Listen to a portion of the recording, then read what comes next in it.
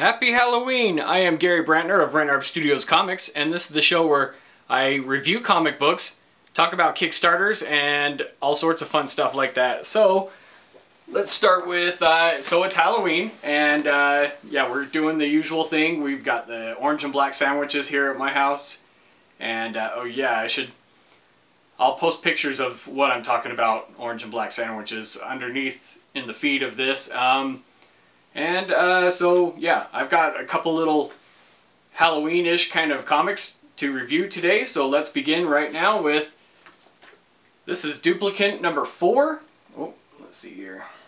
Got a little glare on that one. Can you see that one pretty clear? Yeah, this is Duplicant 4. And uh, start with some credits here.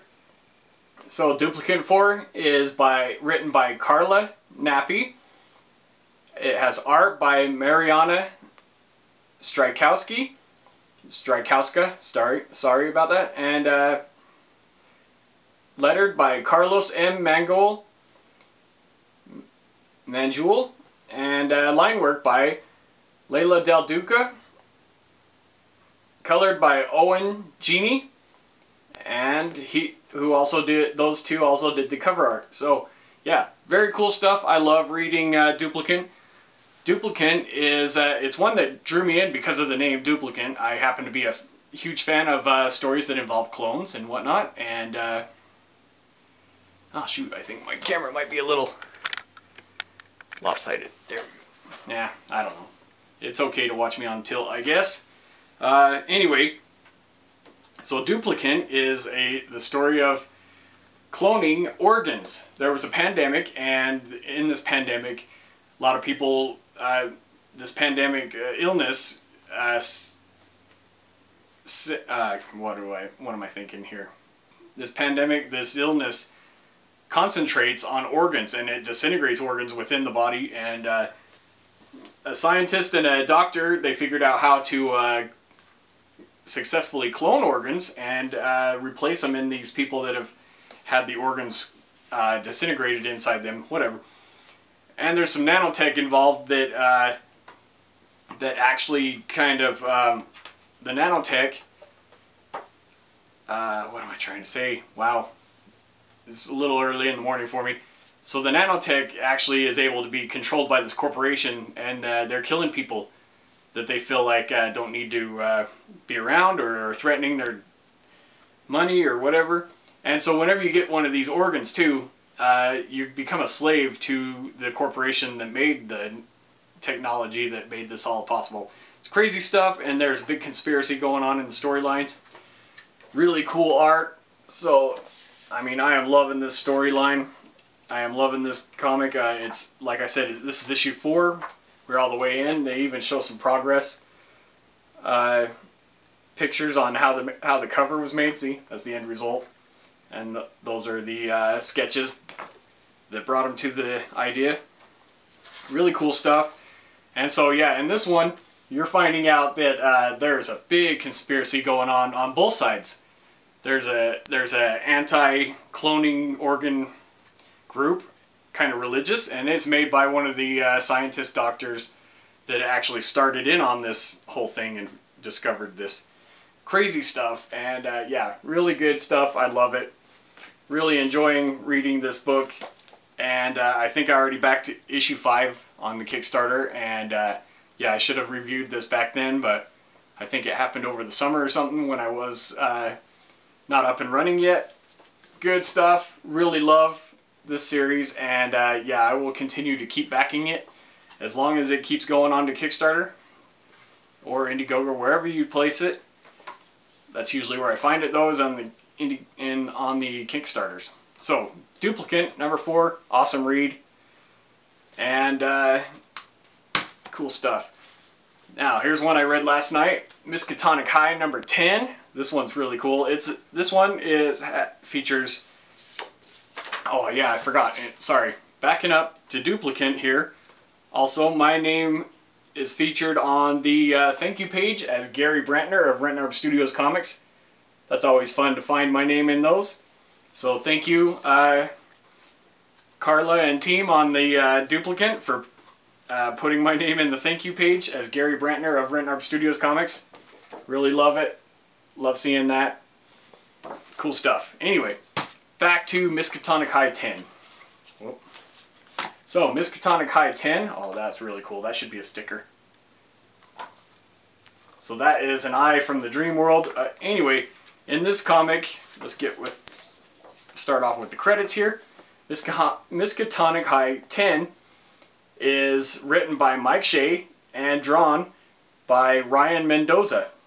Really cool. The art always blows me away on this. The story always blows me away too.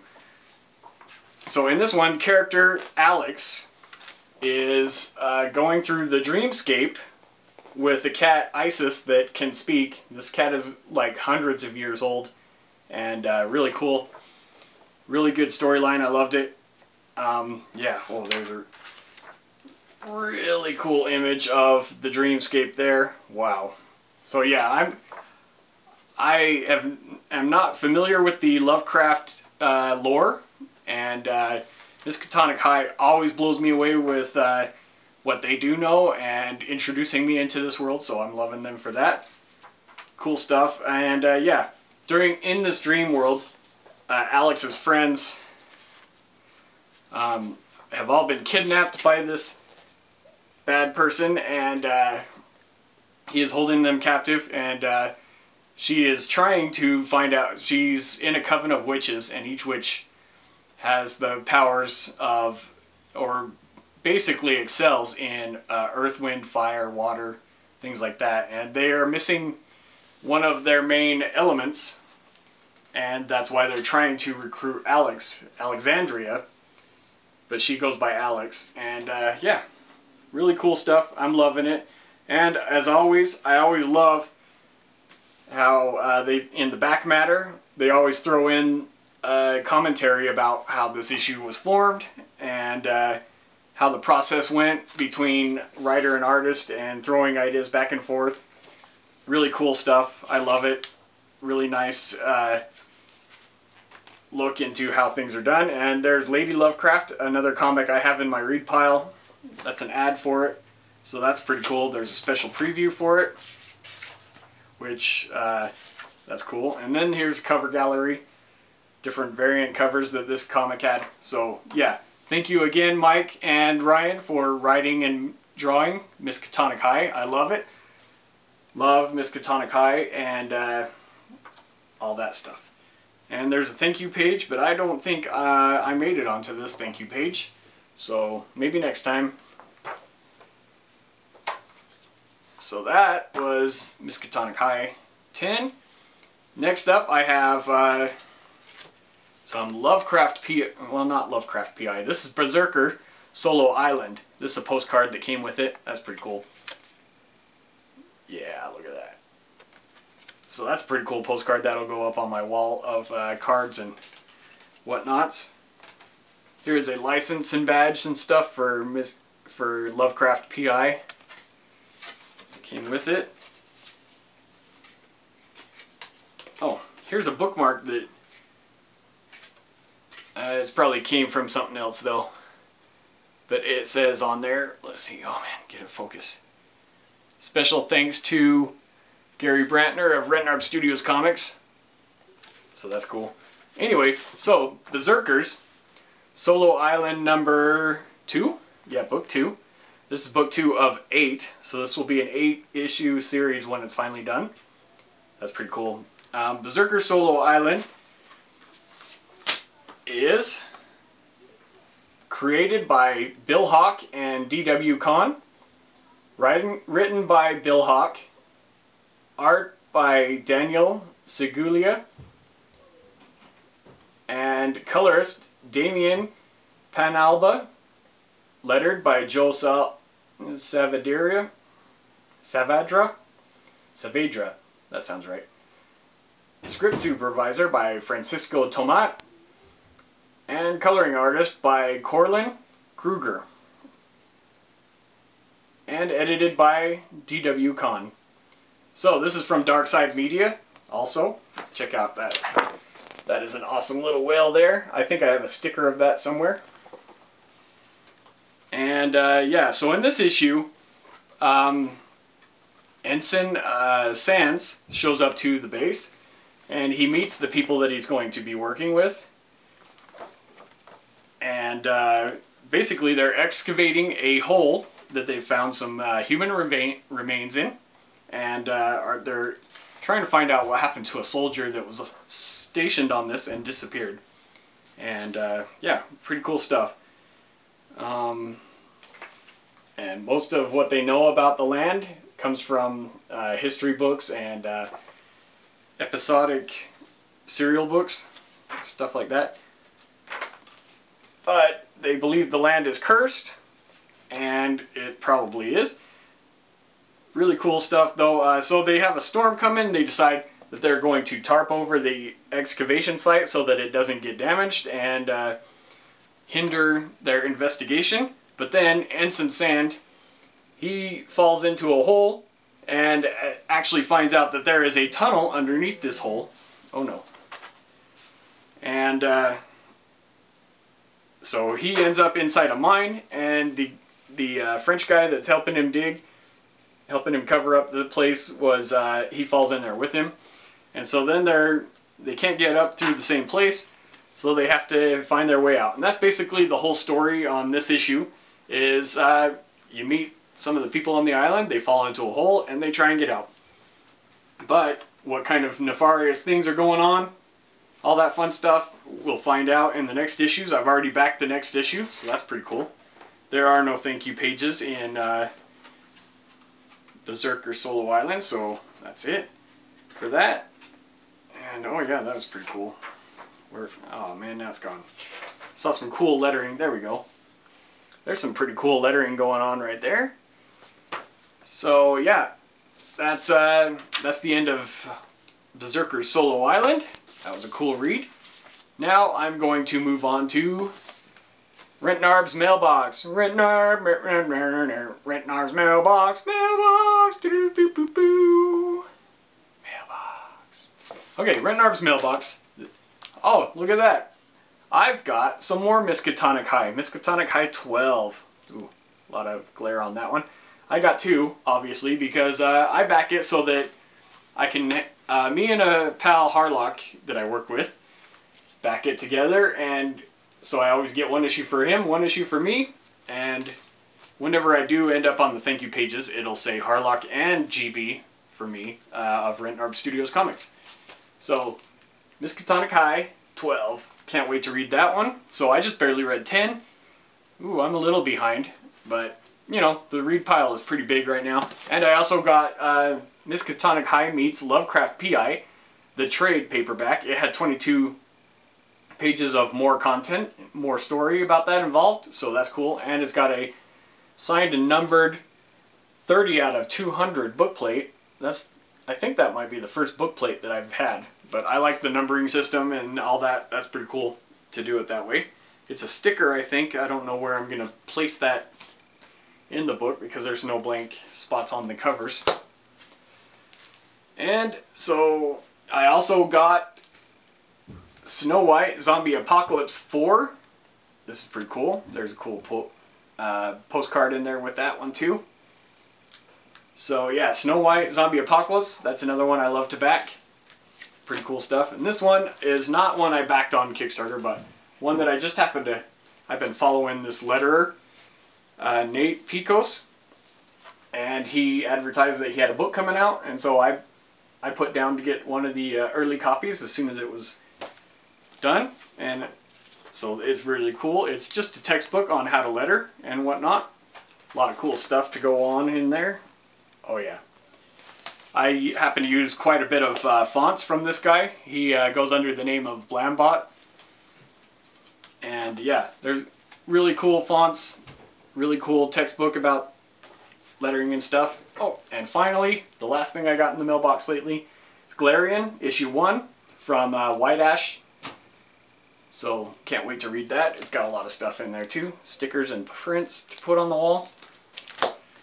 Now on to the campaign corner. This is where I talk about Kickstarters and Indiegogo projects that are going on right now that you should know about or that I'm already backing. So, first off, is, uh, before I even get into that, uh, as you may know, I make Peter Pan the Vampire comic books. And so I thought I'd take this second to uh, talk to you about the comic books. Um, they're on indieplanet.com right now, and uh, you can download issues 1, 2, and 3 for free. That's cool. It always makes me happy to get an email saying that somebody's downloaded my comics. So check out Peter Pan the Vampire on indieplanet.com for free download, or if you want, you can buy the print. That'll really make me happy. So first up on uh, Kickstarter is Chronicles of Horror 1 and 2. Stay tuned. It's an eight issue, or no, it is an eight story horror anthology comic from the writers and artists on the Supernova, on the Seer Nova team. Uh, so check out Comics uh, Chronicles of Horror. Stay tuned on Kickstarter right now. It has hours to go, so jump on there really fast. Check it out. It's really cool. Next up is Daughters of Wolves 1. It ends on Halloween night, so that's tomorrow. So check that one out. It's the re reimagining of Little Red Riding Hood, if uh, it were told from an epic fantasy rice punk retro future. Check it out. I love it. She's got a really huge right hand, kind of like uh, Hellboy or whatnot, and uh, it's an 80-page prestige comic. That means it's uh, glued, not stapled. Pretty cool. So 80 pages, fun stuff. Check out Daughter of Wolves 1 on Kickstarter until October 31st. Cult Heroes Stories is on Kickstarter right now. They just upgraded their uh, tiers to include uh, physical rewards. I jumped in on that one, and uh, so check it out. It is for mature readers. It is the Dirty Rotten Edition, Volume 1 and Young and Bitter Cult Heroes. Four stories, four short stories about the inglorious rotten heroes and villains of the Cult Heroes world. So really cool. Check out Cult Heroes stories on Kickstarter till November 15th. By the time I Get to Dallas is on Kickstarter right now. It is a pandemic-ish kind of story. 80% of the world's population suddenly have an urge to get to one spot, whether they're flying, driving, walking, whatever, they are trying to get to this spot in Dallas, and uh, nobody knows why. And this doctor, well, not he's not a doctor yet. He was in school to be a doctor, dropped out, something like that. His girlfriend just up and left and said, "I'm going. I got to get to Dallas." And uh, he's like, "What?" And uh, he's trying to find out why his uh, girlfriend just up and left. And uh, cool. So this is the book three of the series so far, and there's also a book three of the side book that comes along with it called the Trinity Project. And uh, that's really cool stuff. It shows some history onto how this plague started and whatnot. Oh my gosh, too many timers. Uh, it's a Saturday, and I usually work Saturdays, but I have Halloween off, so missing work. Anyway, I'm not really missing work. By the time I get to Dallas, Book 3 and Trinity Project Book 3 on Kickstarter till November 5th. Touching Evil hardcover number three is on Kickstarter right now. I'm really loving Touching Evil. If you're not reading Touching Evil, uh, you definitely should, especially during the Halloween season. Cool stuff. So, uh, it's about a lawyer who uh, gets handed down this curse from someone in prison when she was in there talking to him. And uh, basically, anybody she touches, if they're evil, they die right there on the spot. Bad news for them, and even for her because she gets blamed for it crazy stuff. And uh, yeah, so this lawyer named Ada is trying to uh, protect her son Oliver, and uh, she's a single mom, raising this kid all alone, and now she has this evil touch. And to make matters worse, one of the convicts in the prison cut off her finger and is using it to touch people that he hates and uh, making them go, making them dead and go into the evil place inside Ada's head. It's crazy stuff. Touching Evil hardcover 3 is on Kickstarter until November 6th. Super Scouts, the collected edition, is on Kickstarter right I feel now. like I'm taking crazy pills! Oh my gosh, what is that? Sorry, that's my text. Or a friend request, whatever. So, 20 years past their prime, TV actors uh, of a s- iconic series called Super Scouts is uh, suddenly find out that this show is real.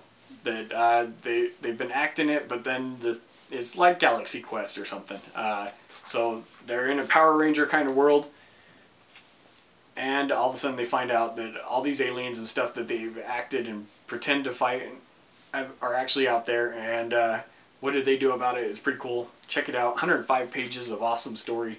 Super Scouts, the collected edition, is on Kickstarter till November 9th. Unicorn, Vampire Hunter 1 and 2. Oh, wait. I think they're up to issue 3 now. Anyway, yeah. Because I've already read 1 and 2. Unicorn Vampire Hunter 3 is on Kickstarter right now, and it's an all ages fantasy about a unicorn who hunts vampires. He stabs them with his horn. How cool is that? And uh, yeah, you find out a little bit about the curse that made him a unicorn vampire hunter in the issue 2. I love it. The art is amazing. The story is awesome. Unicorn Vampire Hunter 1 and 2 and 3. It's on Kickstarter till November 13th. Duplicant number 1 1 through 5 is on Kickstarter right now. Duplicant, as you know, I just read, is a really cool story about a pandemic that destroys organs and scientists, doctors, and the conspiracies all around it, corporation, whatever, all that fun stuff, are taking advantage of this technology, using it for bad. So check out Duplicant 1 through 5 on Kickstarter right now until November 18th. The complete Kickstarter playbook is on Kickstarter right now from Will Terry, uh, the person who made uh, What They Don't Teach You in Art School. Uh, really cool textbooks about things, and so yeah, I'm excited to see what kind of pointers he gives for uh, how to make Kickstarters work. And uh, so check out the complete Kickstarter playbook on Kickstarter right now till November 22nd. Ooh, here's one from one of my neighbors.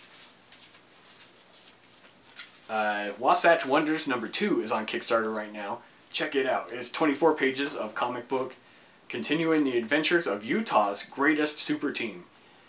Evan makes this comic book in his spare time. He's a teacher, and uh, so he's doing a really cool job getting things done. I mean, I understand how it is trying to do a full time job and making a comic. So, right on, Evan.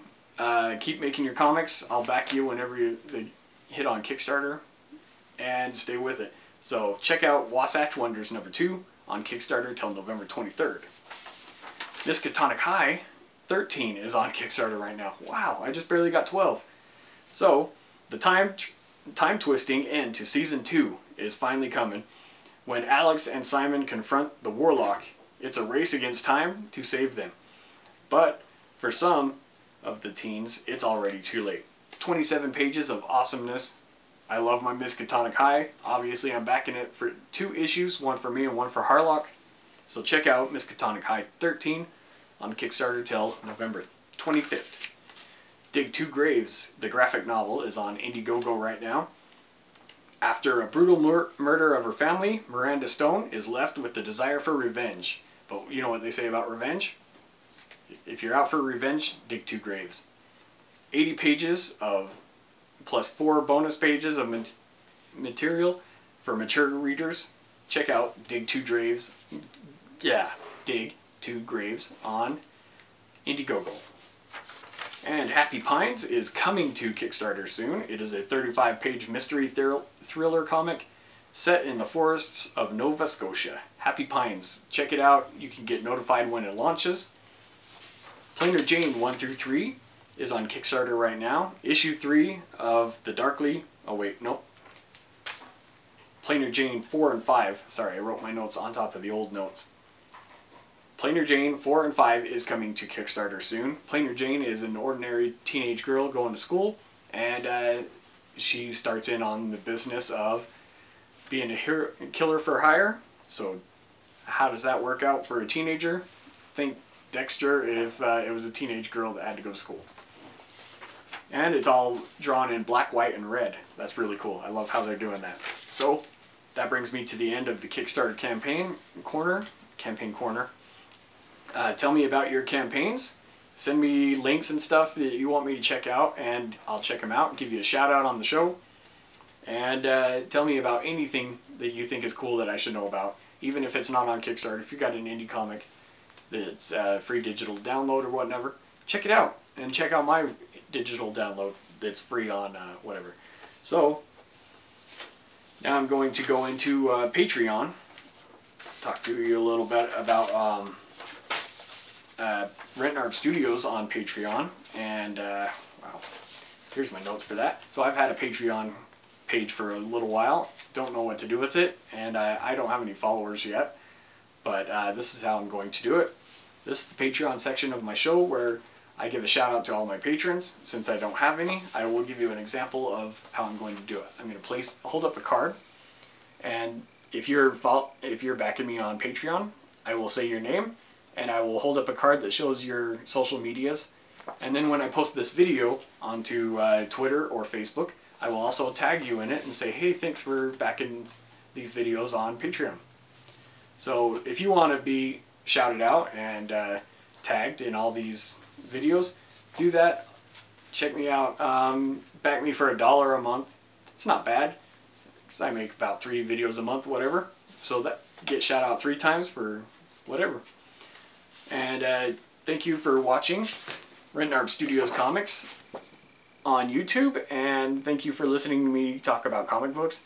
You can follow Rentnarb Studios on any social medias that I have as Rentnarb Studios Comics. If you find this green alien, that's me. So thank you for watching, and have a happy Halloween. Hope you have some fun out there. Stay safe. And uh, yeah, make sure there's no spiders in your gum.